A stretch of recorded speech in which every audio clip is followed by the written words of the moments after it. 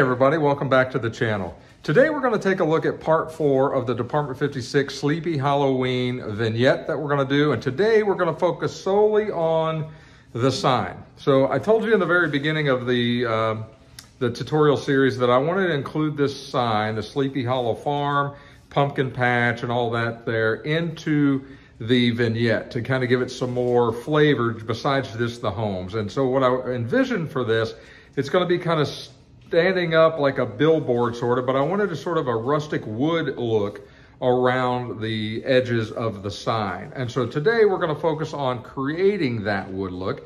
So with that, let's jump in real quick and take a look at the tools we're going to use to make that happen. Okay, so you can see the tools that I've got laid out here. Obviously the sign is here. Now what I've done earlier is I've taken the Proxxon uh, hot wire foam table and I've cut uh, pieces of foam, and this is the more um, uh, pliable XPS type foam that holds uh, engravings and uh, textures much, much better than the white two inch variety. This is a one inch variety, and I've obviously cut these down, and these are gonna be the wood panels that are gonna go on the side and the top of the, uh, the sign. So the way this is going to work, at least for now, is this sign is going to be uh, hot glued onto um, this board. It'll all be painted black. And then these are the sides, uh, I believe. And then these are the tops and bottoms, something sort of like that. And those will be hot glued as well. And you can kind of see kind of a look there. Now, obviously, we want these to look like wood. And so we're gonna, and then to put it into the diorama, I've got this dowel rod here that I'm going to uh, either stain, probably just paint, honestly, just a, a wood colored paint.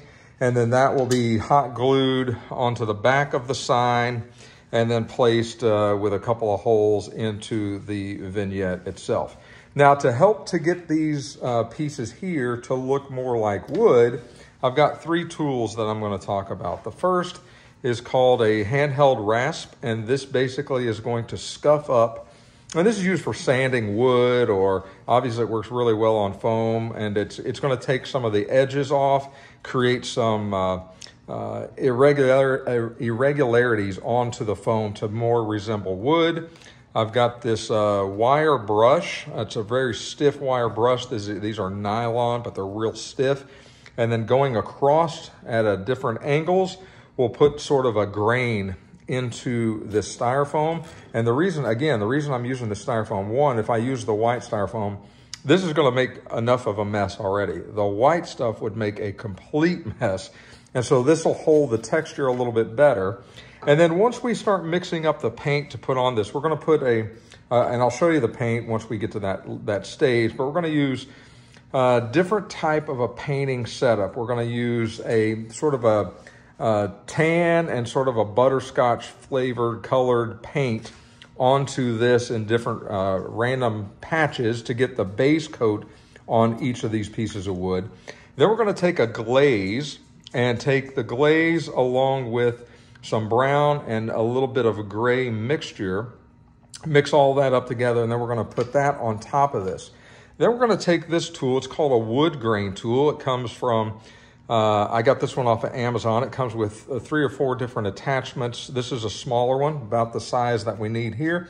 And essentially, once you put the glaze on, you just kind of rock this back and forth as you're kind of dragging it across here. And it puts sort of a wood grain uh, finish onto your paint. At least that's what it's supposed to do. You can see by looking at it, I haven't tried it. So we're going to see what that looks like. So with that, that is a uh, kind of a, uh, some tools that we're going to use. And so let's get right to it. And uh, I'm going to start carving. Okay, guys, I am outside because this is going to make a complete and utter mess. But we're going to take this handheld rasp and we're just going to start scuffing up this wood or this foam to, to look like wood. And we're just taking some of the, the edges off to kind of get it uh, different. Don't be afraid to kind of get it. You really can't screw it up. At least I, I don't think you can. We're gonna try not to screw it up.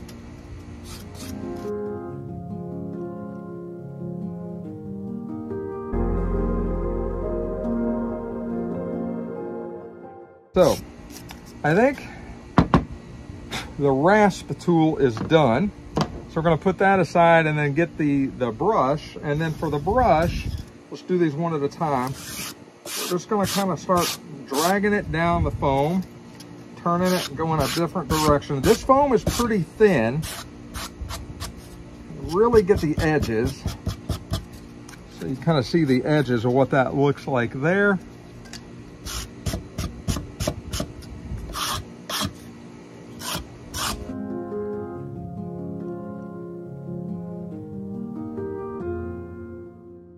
Okay, you can see how that one looks there, like wood. So two are done. You see the differences between the, the textures, right? So, okay. So I think we're gonna call those done. That is the uh, sort of the look we're going for. So let me uh, get these cleaned up and then we will uh, start the painting process. Okay guys, I'm back in uh, from doing the wood. You saw that uh, carving out there. Now let me show you how it looks. And uh, I think it looks pretty good. And I think we're obviously gonna be ready for some paint, so I gotta set that up. But in the meantime, uh, see if I can turn this camera around. I can't, so I'm gonna stop it and then restart on the, so you can see what it looks like. Okay, so here is what um, sort of the envision that I've got of the wood kind of surrounding this sign. And you can see that from a before and after photo with the, with the, the foam, it looks a whole lot better. It looks like wood. So we're gonna get the painting started. And so I need to get set up for that. But I think uh, this is gonna turn out uh, pretty close to the way that uh, I was envisioning it. Um, and uh, an old rustic sign to kind of go in the back of the vignette. So let's get set up for paint and uh, we'll start that process. Okay, so we're ready to paint. And so what I've got is two colors we're gonna start with. And obviously you're gonna see all of this as it's happening, but I got sort of a butterscotch uh, color and then sort of a tan color. And that's gonna be my alternating base coat. So that's gonna go on first on all four of these wood pieces. I already painted the uh, the main box, uh, the main uh, piece of foam, black, that's outside drying. It's, it's, black paint. You wouldn't be excited to see it. So it's already painted and it's drying. So this is gonna be the butterscotch and the tan as the base coat. So with that, let's take a look and get started with that. Okay, so we've got the uh, butterscotch and the tan and we're just going, now we wanna cover all of this. We don't want any bit of this to show through uh, when it's finished. So this is gonna be our base coat, and so we're just going to uh, start putting this on uh, all around. Kind of getting that down into the foam. Uh, we're just gonna mix the colors here. We're gonna put some of the brown, uh, the tan as well.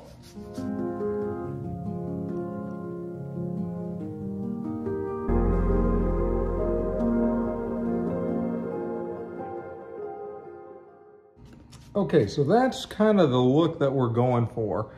Uh, that's your base coat all around this thing. So make sure everything is covered. And then uh, I'm gonna do the rest of these and then we'll come back and look at the second phase of this process. Okay, so I've let these dry now and you can kind of see what they look like with that base coat of the alternating sort of a butterscotch color and a tan color uh, sort of close up. Um, looks pretty good, honestly, and I think I did an okay job of getting in uh, all the pink covered. Obviously, you know, not on the back. Nobody will see that. So now we're going to um, finish with the final coat, and this is going to be a little bit different. And I saw another uh, guy do this on YouTube. I saw it a while back, and that's what got me interested in doing my the Pennywise uh, big display that I'm going to do for the front of our house. Uh, but I wanted to have that look, that um, that wooden look. I want to use uh, big sheets of styrofoam just like this instead of making them very small. I'm going to make it very big. But the same concept applies. So I ran across this video that shows the way to do this now is to take some uh, bear with me here. So I'm, I'm gonna have some brown Craft Smart paint, uh, some silver, or this is uh, uh a more of a gray. Uh, so a, a, a, gray and a brown mixed, probably a little more brown than gray. And then into that, uh, in order to use this tool, uh, it says it needs to be sort of like a glazing medium mixed in, so like a one-to-one -one ratio. So I'm gonna do brown paint, gray paint, and then uh, this glazing medium that's gonna be poured into that, mixed up to get that brown color, hopefully a darker brown than what's on there right now. And then paint that on, and then use this tool to kind of give it the grain effect. We'll see how that goes. I've never used this, so you're gonna see it uh, as I'm doing it. So we'll, uh, we'll experiment together and see if it works uh, and uh, go from there. So with that, let's start mixing some paint. Okay, so I've got a just a, a solo cup here, and uh, what I'm gonna do is I'm gonna take some brown paint, and I'm, I'm gonna make enough to paint all of these pieces, and then I've started, I've cut these down to a uh, manageable size and painted them basically the same color as this, so that'll get, that'll get some of this paint as well. So I don't know, I mean, I'm just gonna use a, I'm not really measuring, so that's probably enough brown. I don't think I'm gonna use as much gray. Uh, maybe just a, a little bit of gray. And then about the same amount as that of this medium, this glaze medium. That should be good. And now we're gonna take this brush and stir this all up. There you can see, and that's a, that's a pretty good color, actually. That's a really good color. Uh, so we're gonna mix this up. I'm gonna grab one of these and I'm gonna grab this. And uh, so here we go with the first, first coat of this. So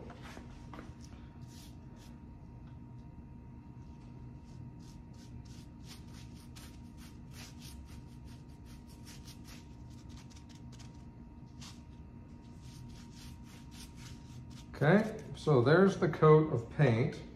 And now we're gonna take this and sort of rock it back and forth, just like this as we drag it.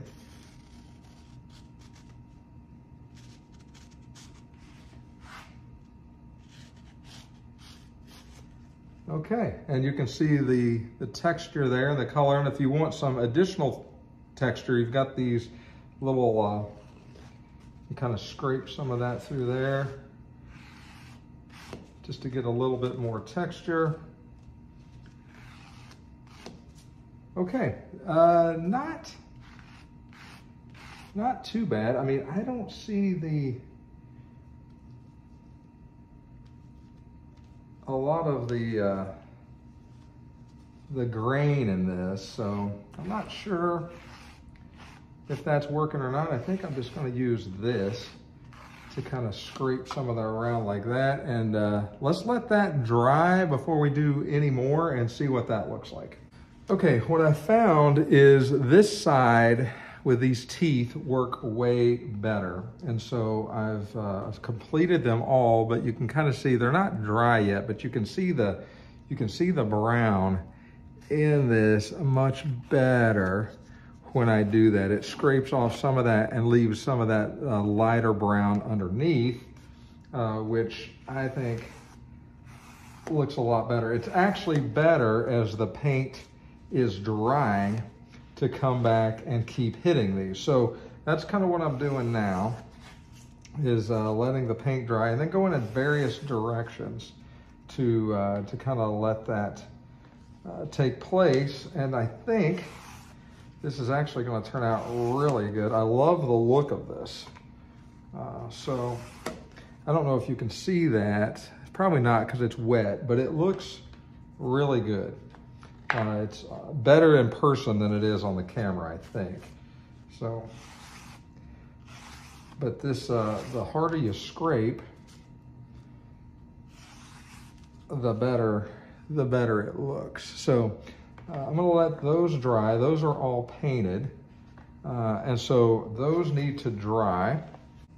Okay, I'm back in. These are now dry or almost dry. And I'm gonna take this stiff brush and sort of help to define some of that wood look. It's getting some of that paint that was kind of thick um, to kind of down into the cracks or out of the cracks. I think it looks uh, really good, honestly. Um, that looks about as close to wood as you're gonna get. So same thing on these. Just kind of get some of that, that stick, you know, stiff brush down into that a little bit more. And you could do that when it's probably even a little more wet to, to have a even probably a better look. Probably a more mixed look versus just the dark. Um, but I mean, not bad for the first time and I'm learning, but it, it looks like wood and it looks like old wood. And that's kind of the look that I was wanting to put on this sign, around this sign to begin with. So not too bad. All right, so Okay, so I think that looks pretty good. Not bad. Now I'm gonna clean this mess up and we're gonna get everything ready and get the hot glue gun fired up and we're gonna put it together. Okay, so now we're going to hot glue uh, the sign down and then put the, uh, the wood around the sign. And so with that, here's the nerve wracking part for me, uh, but it is necessary, so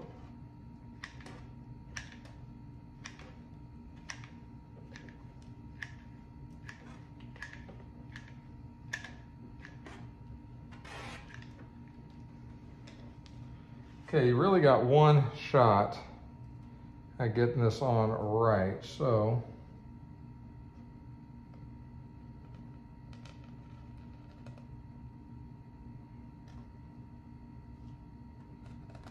something like that.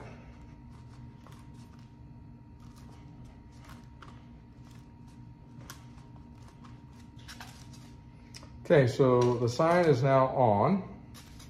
All right, so we will allow that to dry real quick.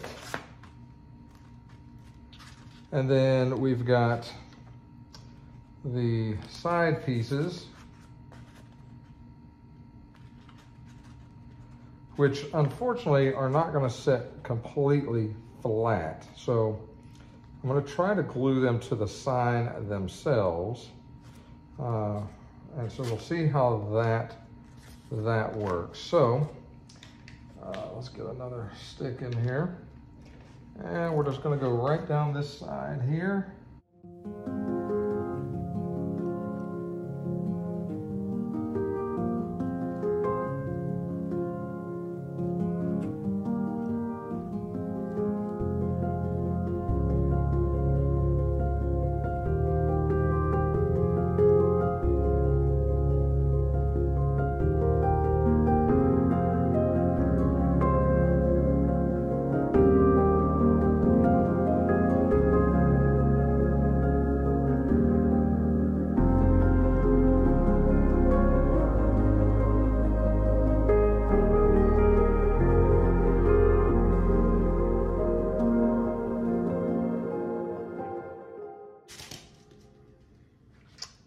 So framed up pretty good. Looks pretty close to like wood, I think. Not too bad. And now we'll, uh, we've got to bring the, uh, the main uh, piece over and measure uh, for these sticks. So let's do that real quick. Okay, so I've got the base here. Uh, you saw uh, this last uh, the last video. So this uh, just fits in there just like we thought it was going to. And so now I need to uh, turn it around and measure uh, for these poles because this is going to be sitting up um, a little ways. So let me flip this whole thing around and start measuring. Okay, so I've basically got it turned around and I've got these uh, sticks where I believe they're going to go. Uh, and so now I'm just going to sort of mark just a line here where I know they're gonna go.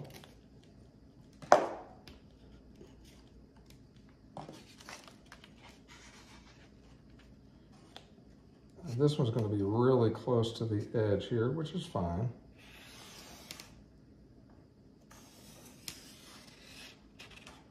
Okay, now we need to get a depth. So, if uh, I want the depth, let me adjust this down just a little bit. So I'm trying to get a depth feel now. And so what I want to do is have that go basically all the way through. So something like that is as high as it's going to go.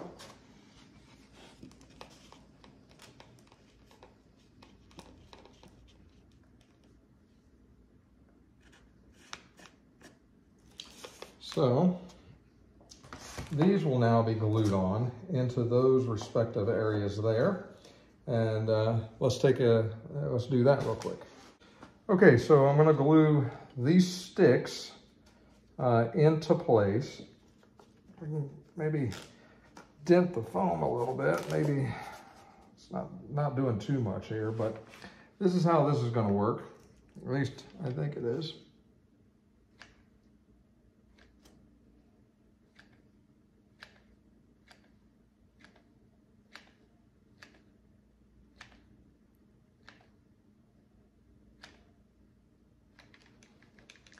Okay, it's quite a bit of glue.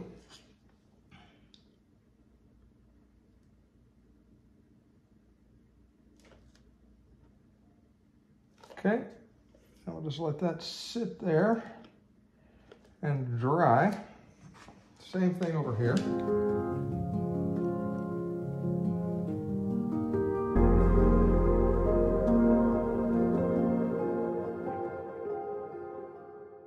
Okay, now we'll just let that continue to dry and then we'll come and get ready to cut holes into the styrofoam and put it onto the display. Okay, so this is now dry, or at least dry enough. These aren't gonna go anywhere. That's sturdy enough to certainly hold this in place. And basically, what I'm gonna do is I want it to overhang this river. I want the river to be coming out of this sign. I sort of want the sign to be somewhat centered. I know the sticks aren't gonna be centered and that's okay.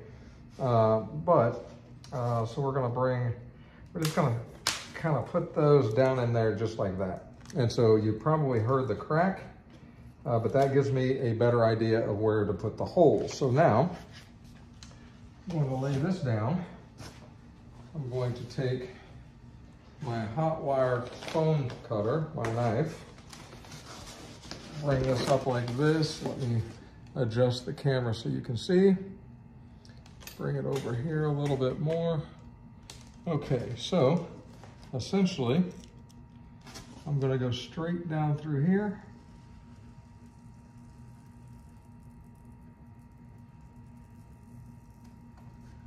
Just like that. Just kind of route this out right about the same size. Okay, and then that should at least allow me now to uh, put that down into the, the uh, into the styrofoam. So let's readjust the camera. Okay, let's take the sign.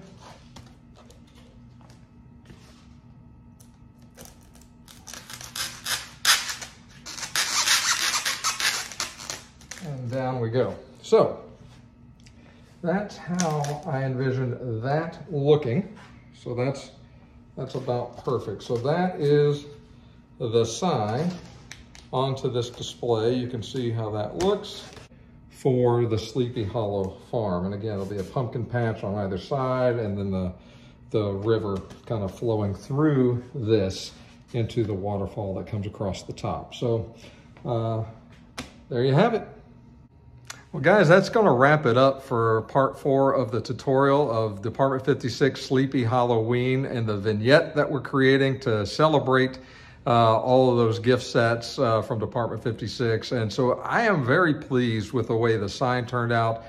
It's sort of what I envisioned to have, and I kind of told you in the very beginning, I wanted the sign to be included with some wood, old looking wood around it. And I think that's what we got. So I'm very happy uh, with the way it turned out. I've never done that before. Watched a couple tutorials on YouTube and uh, just tried it. And you saw every step of the process. So easy enough to do, not a big deal. Uh, you do need the right tools if you're gonna have it uh, turn out the right way. And so I can't stress that enough. So hey, if, uh, if you like the video, make sure you click the like button. And if you haven't subscribed to the channel, please consider doing so. It certainly helps out the channel to grow, uh, gives me the motivation to keep throwing these videos out. And so until next time, we'll take a look at part five of this tutorial series where we'll start doing a lot of the detail work, the roads or the, the pathways, the grass, uh, and, and obviously starting to get that riverbed uh, painted and detailed up and get the, the resin ready to pour. So a couple, a couple, three more tutorials and I think we'll call this one done. So uh, take care of yourselves. We'll talk to you again real soon.